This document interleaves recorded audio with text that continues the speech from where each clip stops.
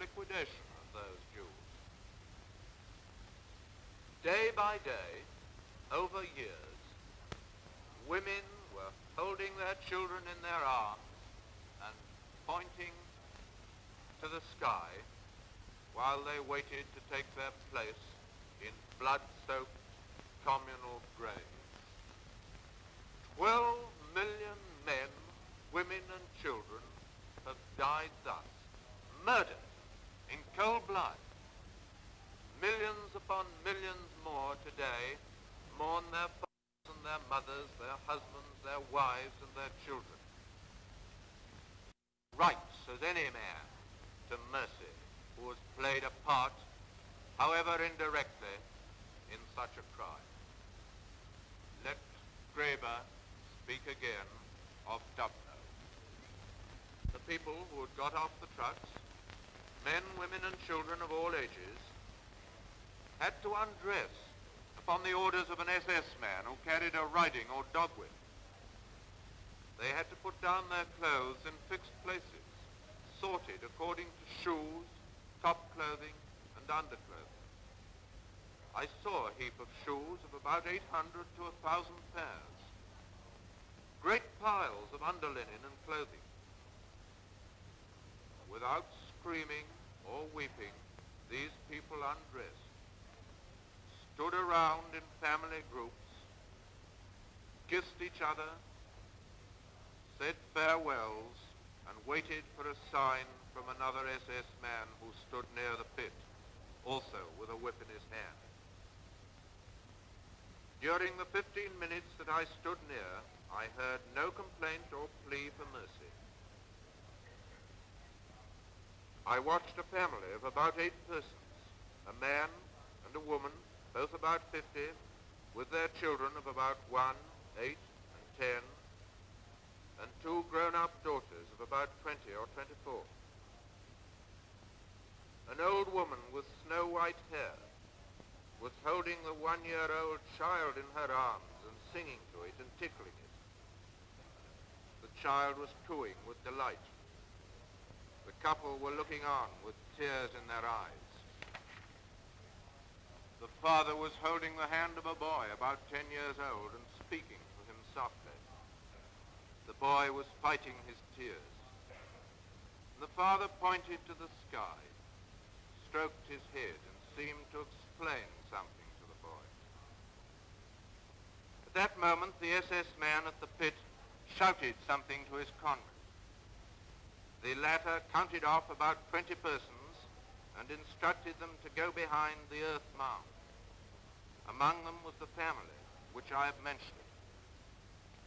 I well remember a girl, slim and with black hair, who, as she passed close to me, pointed to herself and said, 23.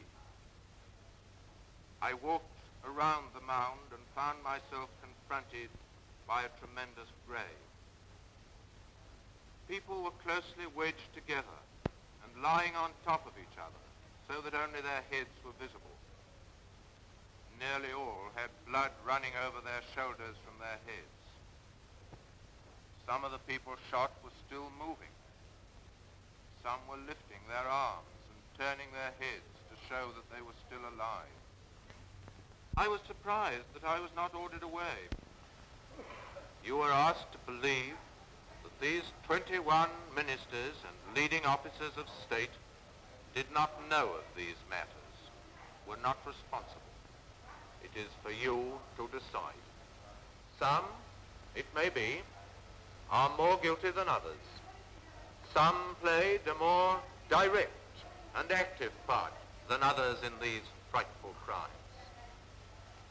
But when these crimes are such as you have to deal with here, slavery, mass murder, and world war, when the consequences of these crimes are the deaths of over 20 million of our fellow men, the devastation of a continent, the spread of untold tragedy and suffering throughout the world, what mitigation is it that some took less part than others, that some were principals and others mere accessories.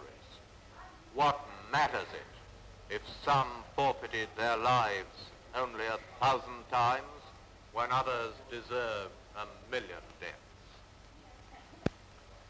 In one way, the fate of these men means little. Their personal power for evil lies forever broken. They have convicted and discredited each other finally destroyed the legend they created around the figure of their leader. But on their fate, great issues must still depend. For the ways of truth and righteousness between the nations of the world, the hope of future international cooperation in the administration of law and justice are in your hands. This trial must form a milestone in the history of civilization, not only bringing retribution to these guilty men, not only marking that right shall, in the end, triumph over evil, but also that the ordinary people of the world, and I make no distinction now between friend and foe, are now determined that the individual must transcend the state.